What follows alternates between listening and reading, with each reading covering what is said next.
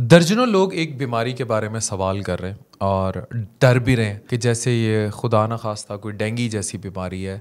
इतनी खतरनाक नहीं है, लेकिन ये आम हो रही है। Chikungunya. एक वायरल बीमारी है, जो बेसिकली एडीज ये मच्छर की एक टाइप है, उसके ज़रिए फैलती है। पाकिस्तान ये, में ये बीमारी खास तौर पर देही नहीं, शहरी इलाकों में फैल रही है। और अगेन ये जो गंद कचरा, कुंडी, कराची वाले से बड़े बखूबी वाकिफ हैं, अब तो जगह जगह ये हालात हैं। जितना पानी और कचरा इकट्ठा होगा एडीज पैदा होगा और तबाही मचाएगा। तो ये एक सेहत आमा का मसला है ख़ास तौर पर मूनसून के मौसम के दौरान मच्छरों की तादाद में जब इजाफा होता है, इनका ब्रीडिंग सीज़न होता है, तब ये बीमारी फैल जाती है। अलामत जो है इस बीमारी की, वो तेज बुखार, शदीद जोड़ों का दर्द, जिसम में दर्द होने लग जाना, सर दुखने लग जाना, मतली, थकान और गले में खराश जो है, ये अलामत है इस बीमारी ये बीमारी आम तौर पर खतरनाक या मोहलिक नहीं है लेकिन कुछ अफराद में जोड़ों का दर्द महीनों या सालों तक रह सकता है अगर उनको चिकनगुनिया हो गया मतलब हम ये कह सकते हैं कि इसका मोर्टेलिटी रेट डेंगू और मले, मलेरिया से कम है लेकिन एक चीज़ होती है जिसे हम कहते हैं मॉर्बिडिटी यानी मॉर्बिड होना बीमारी को कि बीमारी की अलामत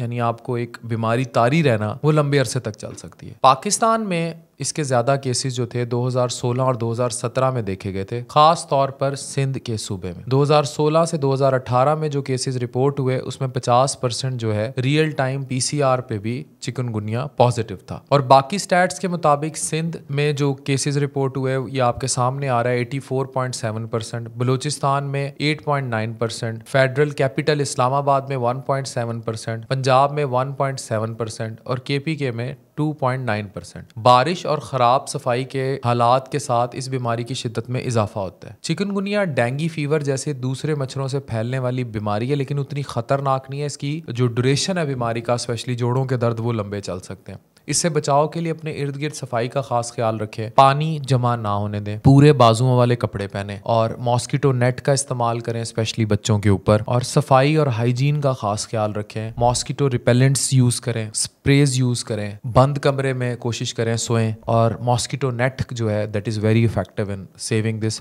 और अगर हाइजीन होगी, मच्छर पलेंगे ही नहीं, अगर आपके घर के साथ एक गंदा प्लॉट पड़ा है और उसमें गंदगी पड़ी है और वहाँ मच्छर जो है वो उन ब्रीड कर रहे हैं तो डेफिनेट डेफिनेटली फिर पूरे इलाके में वो फैलेंगे। तो और जो खुली जगह पे सोते हैं उन लोगों को ख़ास, जो शहर में जैसे छतों पे, जो अब ट्रेंड काफ़ी कम हो गया है लेकिन शहर में जो खुली जगहों पे सोते हैं, उनको बहुत ज़्यादा एहतियात करनी होगी। तो ये इतनी सी वायरल बीमारी है, लेकिन इसका शोर बहुत ज़्यादा है और लोग इससे परेशान बहुत हो रहे हैं। ये एक आगाही की वीडियो है, सेहत आमा के लिए। इसको शेयर कीजिए। Thank you very much